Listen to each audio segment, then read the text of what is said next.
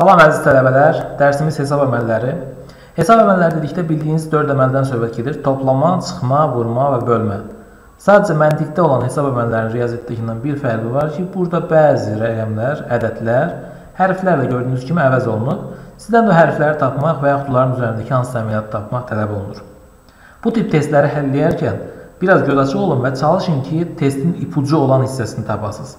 Yəni bəzən testi bütövlüklə həll etmək, bütün hərfləri tapmaq deyil, çox kiçicik bir addımla, bir həmlə ilə testin cavabını tapmaq olur. Məsələni birinci testimizdə bizdən istənilən K-M fərqidir. Əgər testə baxsaz görərsiniz ki, birinci sütunda 2 dənə 3 rəqəmli ədəddir, K-dən MLK-nı çıxıb. Birinci sütunda elə bizə K-M fərqini verib. 4. Ancaq görərsən bu həqiqətənmi 4-dür? Bəlkə bu K-dan birini alıb bura vermişik. Alıb verməsək bu fərq bizə 5 verərdi. İndi baxaq görək K-dan birini alıb vermişik, yoxsa verməmişik. K-dan birini alıb verməsək, burada 5 qala bilərdi. Yox, əgər alıb vermişiksə 4 qalıb. Əgər belədirmi və yaxud belə deyil.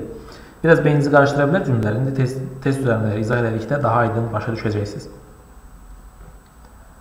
K-nın M-dən böyük olduğunu görürük. Əgər böyük olmasa, burada mənfi nəsə bir şey qalardı. Böyükdən kiçik çıxmışıq ki, müsbət ədəd alınır. İndi sonuncu üstünə baxsaq, burada isə K-nın M-dən böyük olduğunu bilirik. Deməli, kiçikdən böyüyü çıxmaq üçün buradan birini alıb bura verməliyik. Buradan birini alıb verdik. Burada bayaq el idi, indi el deyil, eldən bir əksik ədəddir. Eldən bir əksik ədəddən eli çıxmaq üçün də K-dan birini mütləq alıb vermək lazımdır bura. K-dan artıq biri alınıb gedib. K-dan biri gedəndən sonra onun emi çıxmışıq 4 qalıb. Əgər o 1 getməsəydi, onun emi çıxanda neçə qalardı? Təbii ki, 4 qalmazdı. 4-dən 1 vahid böyük qalardı. Yəni 5 qalardı. K minus n fərqinin 5 olduğunu müəyyənləşdirdik. İkinci testimizə baxaq. İkinci testimiz bölmədir. Bölmə əməliyyatını görürsünüz. Burada bir 4 rəqəmli ədəd 2 rəqəmli ədədə bölünüb. 48 alınıb cavabda, qalıq da 0-dır. Yəni bu ədəd tam olaraq bölünür. Bunun üçün nə edərik? Əgər ə, e, bölünmədə hansı ədədin harda yazıldığını bilmirsə, bir dənə 4 rəqəmli ədəd götürün, onu 1-2 rəqəmli ədədə bölün. Görərsiniz ki, bu 2 rəqəmli ədədi 4-ə vurub yazırıq bura. Heç nə verilməyib, məlum deyil, heç nə, sadəcə dairələri görürük. Dairələr istənilən istənilən rəqəm ola bilər. Sonra ABC-dən bu dairələri çıxanda qalır bu 3 rəqəmli ədəd. Sonra nə edirik? Bu 3 rəqəmli ədədi buna bölmək üçün 8-ə vururuq. Deməli, bu 3 rəqəm, 2 rəqəmli ədədi, burada gördüyünüz ədədi 8-ə vuranda 208 alınır. Bunu 8-ə vuranda 208 alınır. Deməli, bunu tapmaq üçün 208-i 8-ə bölərik. Bölə 208-i 8-ə, 208-i 20-də 8, 2 dəfə 16, 48-də 8-də 6 dəfə. 26. Deməli, tapdıq ki, bu iki rəqəmli ədədimiz 26 imiş. Bizdən ABCD-ni tapmaq tələb olunur. Qalıq da qalmadığına görə ABCD-ni tapmaq üçün artıq elə birbaşa 26-nı 48-ə vurarıq. 26-nı 48-ə vuraq, vurulsun 48. 8 dəfə 6 48 olacaq. 8 dəfə 2 16. Bayaq da vurulmuşu var, burada 208 olur. Təkrar olmuyor. 4 dəfə 6 24. 4 2-yə vuranda 8 olacaq 104. Cəm bizə verəcək 8 4 2 1. Yəni cəm bizə ABCD-ni verir. 1248. 1248. Buradan uyğun olaraq görürük. A1-dir, B2-dir, C4-dür, D də 8-dir. Gətirib burada yerinə yazıb hesablayacaq. 1, 2, 4, 8. Cəm bizə verəcək 15. Doğru cavabımız olur Yemen. Üçüncü test tapşırığına baxaq. Üçüncü test tapşırığı daha maraqlıdır. Burada görürsünüz, bir dənə də olsun rəqəm yoxdur, ədəd yoxdur. Hamısını özünüz tapmalısınız. Necə tapırsınız? Alt-alta toplamada 3 dənə ədəd bir-birindən toplanıb. Birinci toplamağa təbii ki, buradan başlayırıq, sondan başlayırıq. Baxırıq ki, A, B və C. Üçü toplanır, bizə C verir. Bu nə zaman ola bilər ki, 3 dənə ədəd toplanır və onlardan biri aşağı yazılır? O zaman ola bilər ki, A ilə B 0 olar. Təbii ki, 0-ın üzərinə C gələndə C eləyir. Ancaq A və B ikisi də 0 ola bilmədiyinə görə, deməli, bunların cəmi 0 ilə qurtaran bir şeydir. Məsələn, A ilə B olub, cəmi olub 10, 10 üzərinə C gələndə, ta ki, də 5-dir. 15, 5-i yazmış bura, 1 qalıb yadda. Deməli, A ilə B-nin cəmi burada ancaq ola bilər 10. Yəni, sonu 0 ilə qurtarıb ki, bu C gəlib bura düşür. Bir yerə qeydləyək. A plus B bərabərdir 10-a. Digər tərəfdən təkrar edən ABC-nin cəmi var. Tutaq ki, bunlar yenə nəsə 10 neçəsə elədi. Yazdıq bura elədi.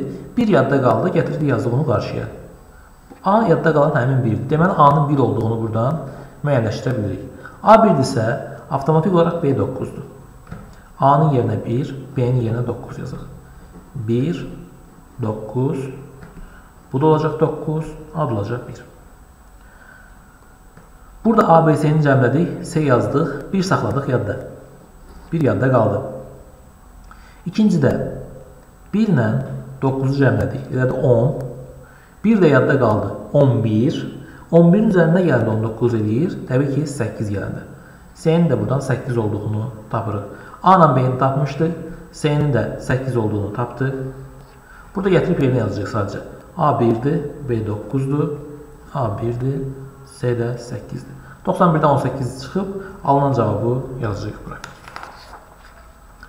Növbəti dördüncü testimiz. Dördüncü testdə də 2 dənə əməliyyat verilib, toplama və vurma. Bu əməliyyatlardan istifadə edib biz M-i tapmalıyıq. Baxaq görə necə taparıq. Buradan rahat görünür ki, L ilə L-in cəmi sonu sıfırla tutarır. Hansı ədədi öz-özünə cəmlədikdə və yaxud 2-yə vurduqda sonu sıfırla tutarır. Təbii ki, onun 5 olduğunu bilərik. 5 ilə 5 toplanılır. Məsəl üçün 6 ilə 6 toplanmış olsa bura 2 yazılardı. 7 ilə 7 toplanmış olsa bura 4 yazılardı, 1 yadda qalardı. Deməli bu 5 ilə 5 imiş, 10 olur. 1 yadda qaldı yenə də. İkincidə K ilə M-i toplayanda 9 olub ki, üzərinə də 1 gələndə bizə 10 verib. Ancaq cəmi 9 olan o qədər ədəd var ki, 7 ilə 2 var, sonra 6 ilə 3 var, 5 ilə 4 var. 5 ola bilməz, 5 artıq burada var. Bunlar bir-birindən fərqlidir. Və s. 8 ilə 1 var məsələn. Ona görə buradan heç nə tapa bilmirik. Keçək ikinci e, bizə verilən köməkçi vasitədən istifadə edək. L-in 5 olduğunu artıq bilirik. L5. Burada 5 yazan bu olacaq 135. KM-i 5-ə vuranda 135 alınır. Deməli, KM-i tapmaq üçün 135-i, KM-i tapmaq üçün 135-i 5-ə bölərik. Bölək 135 bölərik 5-ə. 13-də 5 2 dəfə 10 olar. 35-də 5 7 dəfə 35 da 0 qaldı. Deməli, KM 27 imiş. Bizdən də M-i tapmağı soruşurdu. M-in 7 olduğunu artıq müəyyənləşdirmiş oldu. Növbəti sualımız sizin üçün ev tapşırığıdır. Bölməyə aid artıq bir dənə sual həlləmişik. İkinci suala özünüz həlləyə bilərsiniz. Kömək üçün bir-iki dənə cümlə deyim sizə. 30 neçəsə olan ədəddir, 35-li, 36 neçəsə. Onu 2-yə vuranda MN alınır. Buradan bir şey tapa bilməyəcəksiniz təbii ki. Sonra növbətisində 30 neçədirsə, onu 6-ya vuranda bu ədəd alınır. Baxın, bu ədəd alınır. Hansı ədədi 6-ya vuranda axır 6 ilə bitir? Ancaq və ancaq 6-nı. Deməli, bu 36-nın 26-ya vurulmuş imiş. Digərlərini, digər rəqəmləri özünüz taparsınız. Sizin üçün ev tapşırıq. Növbəti 6-cı sualımız. Gördüyünüz kimi 4 dənə ədəd cəmlənib alt-alta. Bu 4 rəqəmdə də dağılır. Testin ipucu hissəsini deyim sizə. İpucu hissəsi sonuncu 4-cü sütundur. Nəyə görə 4-cü sütun?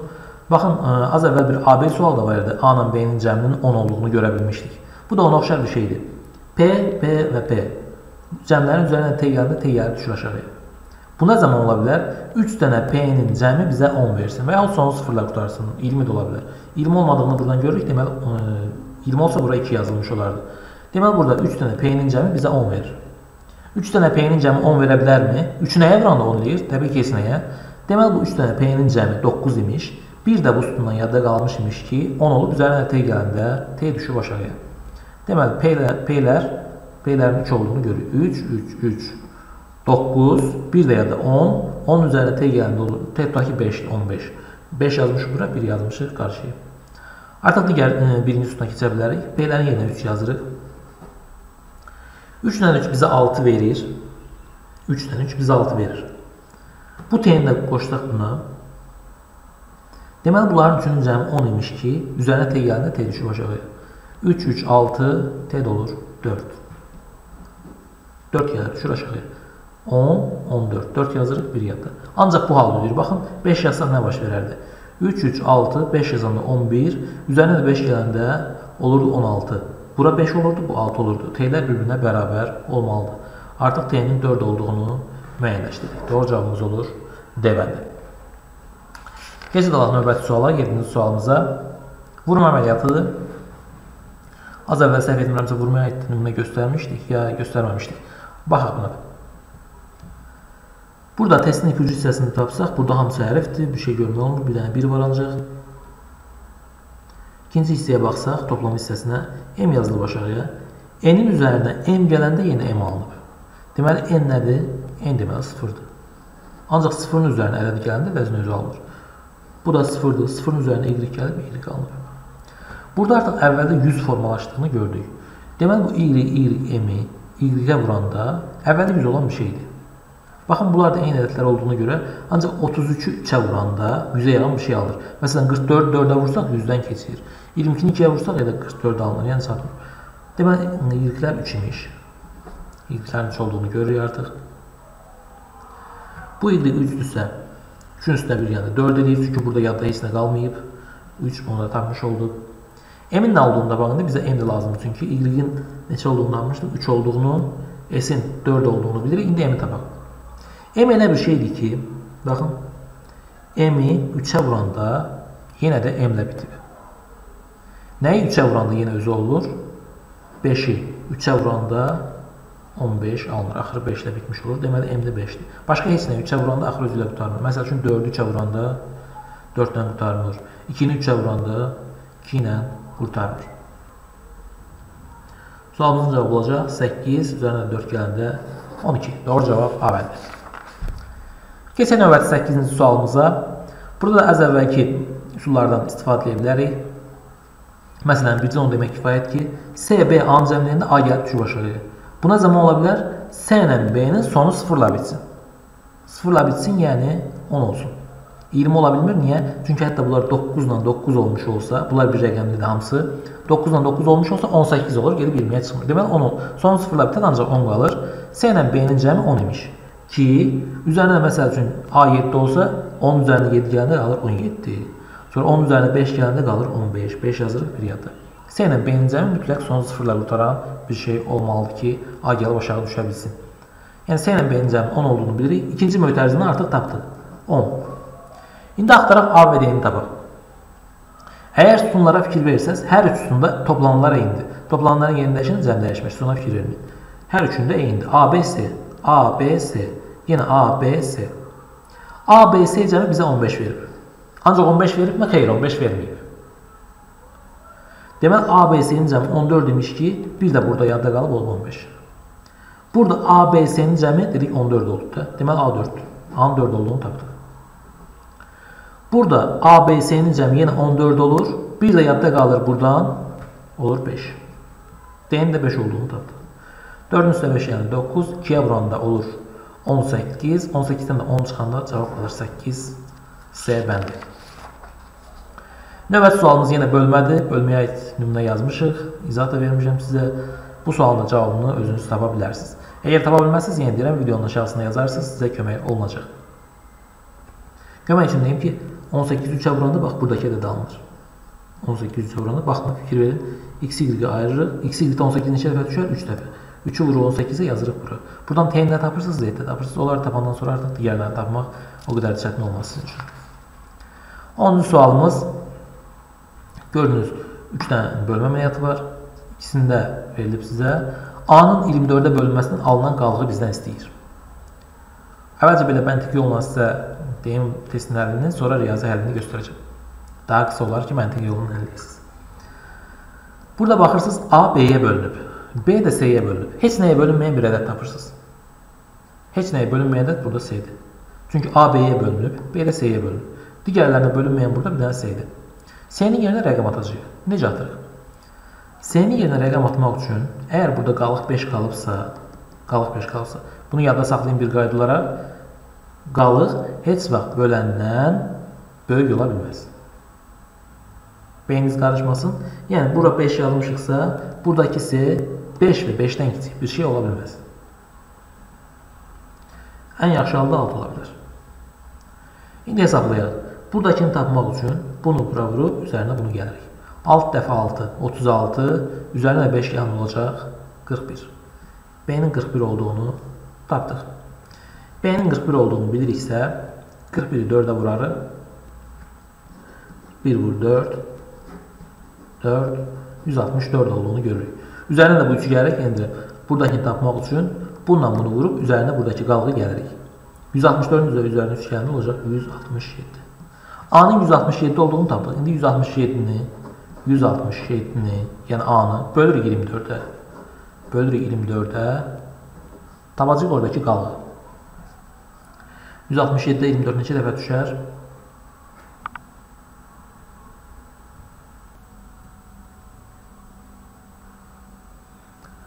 7 olar. 7 dəfə 4 8 14 2 olmur. 168 olur 7 dəfə.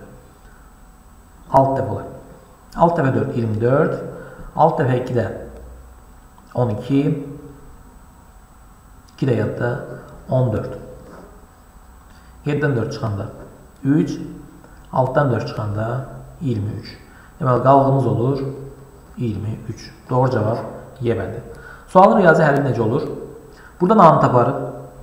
Az əvvəl demişdik, A-nı necə taparıq? A bununla bunun hasilinin üzərinə 3-ü gəlirik. Yəni A bərabər olur buradan. A bərabərdir. B vurulsun 4, üstünə gələcək 3. Yəni 4B plus 3. Ayıraq, qarışmasın. İkincidən B-ni taparıq. B bərabər olacaq. S vurulsun 6 plus 5. Yəni 6S plus 5. Bizə nə lazımdır? Bizə lazımdır A-nı tapmaq. A-nı artıq burada görürük. A burada var. A-nı tapmaq üçün B-nin bu qiymətini, baxın B-nin bu qiymətini gətirib burada yerinə yazmaq lazımdır. Yazaq. A bərabər olacaq. 4 vurulsun. B-nin qiyməti nədir? 6S plus 5-dir. 6S plus 5. B-nin yerinə yazdıq bunu. Üzərinə də gəlir 3. Plus 3. Açıq şəkildə yazsaq, A bərabər olacaq 24C plus 20 plus buradakı kənardakı 3. Sadəcə 4-ü mötərizənin içərisinə vurub başlıq, başqa bir şey eləmədik. Deməli, buradan yekun nəticədə A bərabər olmuş olacaq. 24C plus 23. A'nın A'nın bak bu A'nın 24S plus 23 olduğunu tapdıq. İndi bunu 24'e böləndə ayrı məsələdir ki, birinci ət 24'e tam bölünür. 24 24'e tam bölünür. Yəni buradan birincidən qalıq qalmır. Birincidən qalan qalıq olur 0. 23 24'e böləndə 24-dən kiçik bütün ədədləri 24'e böləndə qalıq elə həmin ədədin özüdür. Cavab yenə də 23 alındığını görürük. Sizin üçün hansı rahatsa ondan da istifadə edərək həll edə bilərsiniz. Düşünürəm ki, birinci ikincidən daha sürətli olur. Ancaq digər tərəfdən də ikinci birincidən daha dəqiqdir və heç vaxt səhv etmə ehtimalınız yoxdur. Təbii ki, nəyisə səhv yazmısınız. Və 11-ci sualımız bu sualda sizin üçün tapşırıqdır, vurma əməliyyatıdır. 230-un neçənsə 2-yə vuranda alınır bu ədəd, birinci ədəd. Kvadrata vuranda həmin ədədə alınır buradakı ədəd. 1-ə vuranda alınır, təbii ki, 230 neçəni 1-ə vuranda ilə 230 neçə salınacaq. Buradan digər köməkçi vasitələr də var sizin üçün. Məsələn, 2-ni neçəyə vuranda son 8 ilə tutar. Kömək üçün 4-ə və 9-a vuranda. Ancaq bu 4 olacaq ya 9 olacaq. Onu artıq buradan 2-ni 2-yə vuranda görə bilərsiniz. Və yaxud 2-ni 3-ə vuranda 6 alınıb, üzərinə heç nə gəlməmişik. O da sizin üçün bir ipucu olar. Yenə dediyim kimi bu tipli testləri həll edərkən çalışın ipucu haradısa onu tapasınız. İpucunu tapandan sonra özü çözülüb gedəcək. Növbəti 12-ci sualımız 12-ci sualda biraz qəliz görünüş ola bilər, ancaq o qədər çətin sual deyil. Sadəcə bir şey istədiyim ki, ikinci tənliyin hər tərəfini 2-yə vururuq. 2-ni 2-yə vuranda olacaq 4. 5-i 2-yə vuranda olacaq 10. 1-i, bunun qarşısındakı 1-i yazılmayıbsa, 2-yə vuranda olacaq 2. Nə alındı? 4 dənə kvadrat, 10 dənə üçbucaq, 2 dənə dairə. Yuxarıdakına baxsınız, burada 4 dənə kvadrat var və 2 dənə də, ha, 47-ni 2-yə vurmaq yaddan çıxdı. 47-ni də 2-yə vuranda alınacaq 2 dəfə 7 4 2 dəfə 4 8 94 alınacaq. 47-ni artıq silək, hər tərəfi 2-yə vurdu. İkinci tənlikdən birinci tənlik tərəf tərəfə çıxaq. İkincidən birincini çıxırıq. Niyə ikincidən birincini 94-dən 74 çıxaq ki, böyükdən kiçik çıxmış olsun, mənfi alınmasın. Çıxanda 4 kvadratdan 4 kvadrat çıxanda bunlar gedir. Kvadrat qalmır bu tənlikdə. 13 bucaqdan 6 3 bucaq çıxanda qalır 4 3 Üçbucaq. İki dairədən, iki dairəni çıxanda, onlar da gedir, heç nə qalmır.